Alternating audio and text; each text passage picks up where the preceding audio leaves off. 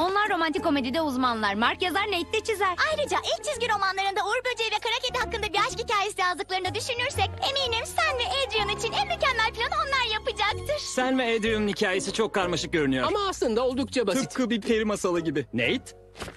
Genelde yaşlı ve kötü bir cadı bir prensesi ejderhayla korunan bir kaleye hapseder. Ve parlak zırhlı bir şövalye onu kurtarır. Aslında bu da aynı hikaye ama şövalye sensin Merinet. Adrian da prenses. Kalede onun evi. Ve cadı da onun babası Gabriel. Ben babasını düşünmüştüm. Ya da ejderha. Koruması ejderha olabilirdi. Tam ona göre. O daha çok bir gorile benziyor.